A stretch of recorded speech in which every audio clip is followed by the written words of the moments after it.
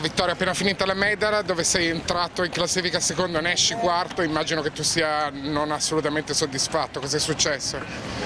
Niente, siamo entrati in una medal un po' difficile perché eravamo in tante barche a giocarci il podio, quindi non potevamo fare una regata di controllo su uno o due avversari, ma purtroppo dovevamo fare la regata migliore che potevamo in quel momento.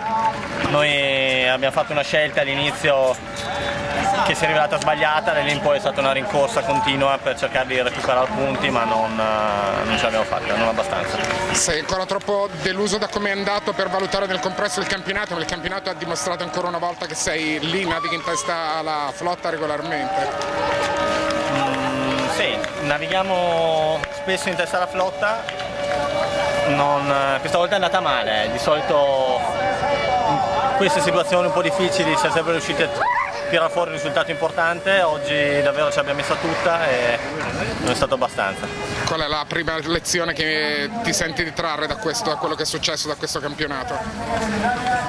Niente, che credo che abbiamo condotto il campionato in maniera giusta, non abbiamo mai mollato, siamo partiti male, da lì in poi abbiamo sempre cercato di fare il massimo, a volte va bene, a volte va male, e, eh, se non sei una spanna davanti a tutti gli errori li paghi ed esci dal podio, e così siamo noi, siamo bravi ma quando sbagliamo usciamo dal podio. Ti chiedo la sintesi brutale del voto, da 1 a 10 che voto ti dai in questo campionato? 7. Ok, siamo d'accordo, bravissimo Vittorio comunque, grazie mille.